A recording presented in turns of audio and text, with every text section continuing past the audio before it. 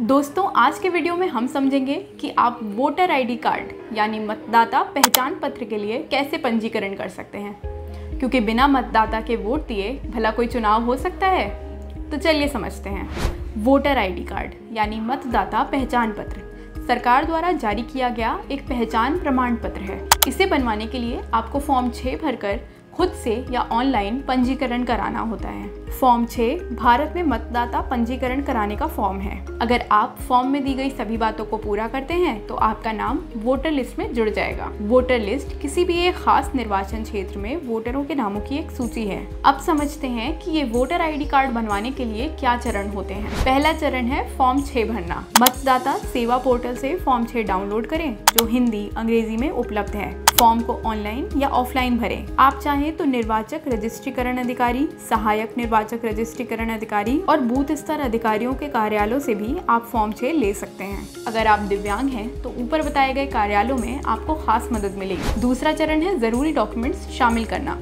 भले ही आप ऑनलाइन या ऑफलाइन फॉर्म छः भर रहे हों लेकिन आपको अपने डॉक्यूमेंट्स को खुद ही वेरीफाई करना होगा। ये है वो ज़रूरी डॉक्यूमेंट्स एक हाल की रंगीन पासपोर्ट साइज़ फ़ोटो आयु प्रमाण पत्र की कॉपी जैसे जन्म प्रमाण पत्र, दसवीं और बारहवीं स्कूल प्रमाण पत्र, पते के प्रमाण की कॉपी जैसे passport Aadhaar card driving licence तीसरा चरण है फॉर्म को जमा करना। अगर आपने ऑफलाइन फॉर्म भरा है तो आप अपने डॉक्यूमेंट्स और इस फॉर्म को अपने मतदान केंद्र के बूथ स्तर के अधिकारी को जाकर के जमा कर सकते हैं। लेकिन अगर आपने फॉर्म ऑनलाइन भरा है तो आपको कहीं भी जाने की ज़रूरत नहीं है।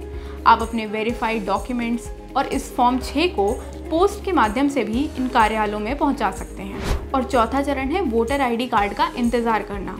फॉर्म में दी गई जानकारी को जांचने के लिए एक बूथ स्तर का अधिकारी इस फॉर्म में दिए गए पते पर जाएगा। जब आपका वोटर आईडी कार्ड बन जाएगा, तब ये बूथ स्तर का अधिकारी आपके पते पर इस आईडी कार्ड को भेज देगा। या फिर आपसे निर्वाचन पंजीकरण केंद्र में आकर इस कार्ड को लेने को कहेगा। और इसके बाद आपका नाम वोटर लिस्ट से जुड़ जाएगा। एक वोटर आईडी बनाने की चार चरणों की ये पूरी प्रक्रिया है।